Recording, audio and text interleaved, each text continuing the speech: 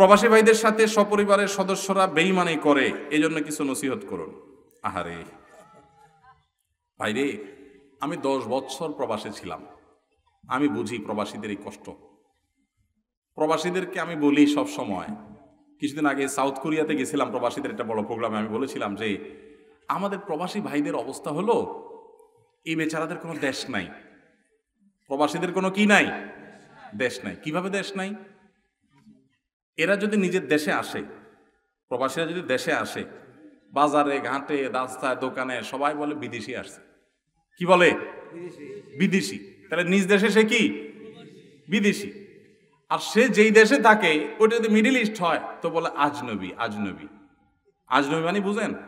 আজনবী মানে অচেনা, অজানা, অপরিচিত মানে এর চিনি না মানে এটা আমাদের দেশের না। মানে বিদেশি সোজা কথা। তো বেচারা প্রবাসী, যে দেশে থাকে ওরাও ওই দেশের লোক হিসেবে স্বীকার করে না। আর নিজের দেশে আসলেও সবাই বলে, কি আসছে? বিদেশি আসছে। তো বেচারা কোনো দেশ আছে? নাই। দেশ হলো ওই বিমানে যতক্ষণ আকাশের উপরে থাকে ওই বিমানে। এই কষ্টের কোনো শেষ নাই। সারা জীবন উপার্জন করে কাউকে খুশি করতে পারে না। এত দেওয়া দেওয়ার পরেও মানুষ কি হয় না? খুশি হয় না। এত নাশকর, এত অকৃতজ্ঞ আমরা, এত নিমক হারাম আমরা। যে যা দিছে, আলহামদুলিল্লাহ, বাপ মা পর্যন্ত খুশি হয় না, স্ত্রী পর্যন্ত খুশি হয় না, অন্য মানুষ তো পরের কথা, শুধু চাই চাই চাই। কত কষ্ট সেখানে তারা করে। যদি তারা একেবারে আরামের মধ্যেও থাকে, প্রিয়জন থেকে দূরে থাকার কষ্ট কত বেশি, এটা যারা জেল জীবনে থাকে তারা বুঝে। আর যারা প্রবাসে আছে তারা কিছুটা টের পায়, কত কষ্ট হয়। এজন্য প্রবাসীদের প্রতি জুলুম করবেন না আল্লাহর হস্তে। তাদের প্রতি একটু রহম দিল হবেন। খাই খাই করবেন না। যা দিতে পারে শকর আদায় করবেন, না দিতে পারলে বেচারার ওজোর আছে, এটা বুঝবেন। কোনোভাবে ব্লেম এবং অভিযোগ করে বেড়াবেন না। আর প্রবাসীরা যারা আছেন, আমি তাদেরকেও বলি, আপনারা একটু বিবেক বুদ্ধি খরচ করে চলেন। যা কামাই করেন, সব ঢাইলা দিছেন, একদম বইয়ের কাছে, বাপের কাছে, ভাইয়ের কাছে, মায়ের কাছে, সব দিয়ে দিছেন, নিজের হাতে কিছু রাখলেন না। এরপর দেখা গেল, বউ যদি অমানুষ হয়, চম্পট। আছে না নাই? প্রবাসে থাকে তো, বউরে কাছে পায় না।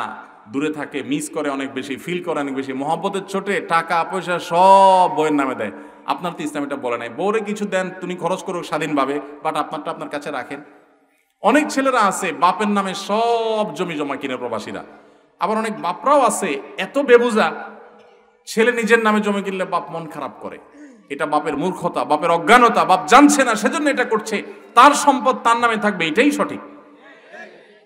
আপনার নামে থাকতে পারে, আপনার সে যে- জমি বিক্রি করে গেছে, সেই জমিটা আপনার আবার কিনে দিল, বা ওই পরিমাণ জমি কিনে দিল, টাকা দিল, বা আরও এক্সট্রা কিছু আপনাকে দিল গিফট হিসাবে, ঠিক আছে? বাবা অনেক কষ্ট করছে, এক সময় আমার বিদেশ পাঠাইছে, ঠিক আছে, আমি বাবারে দুই চার পাঁচ বিঘা জমি কিনে দিলাম, বা ওইটা করে দিলাম, এটা করুক সে, এটা অনুদান, এটা ক্লিয়ার তাকে হাদিয়া, আর নিজেরটা নিজের কাছে থাকবে। এই হিসাবগুলো আলাদা আলাদা না করার কারণে পরে একসময় ভেজাল হয়। আমরা হলাম, সব লোক হলো মুখে মুখে মিষ্টি, আতে আতে বিষ দাঁতে দাঁতে মিষ্টি, আতে আতে বিষ। উপর দিয়ে বলি, না না না, আমার নামে দরকার নাই, সব তোমার নামে হোক। কদিন পরে এবার বলি, না, এগুলো তো আমার কামাই করা জিনিস। তা আগের ভেজালে ভালো ছিল ক্লিয়ার কাট করা দরকার ছিল, প্রবাসী অনেকে ভুলটা করেন।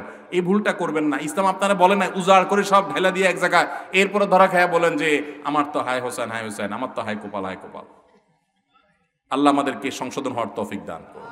অতএব প্রবাসী ভাইদের প্রতি সবাই সদয় যেমন হব, প্রবাসী ভাইরাও বুদ্ধিদীপ্ত ডিসিশন নিব চিন্তা ভাবনা করে নিব এবং খুব হিসাব নিকাশ করে করব। অনেক প্রবাসী এখনও আছে, নিজের অ্যাকাউন্টও নাই, টাকা সব আরেকজনের কাছে পাঠাচ্ছে।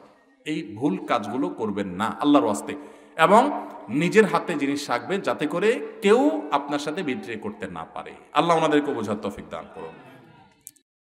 আসুন্নাহ ফাউন্ডেশন, উম্মার স্বার্থে, সুন্নার সাথে।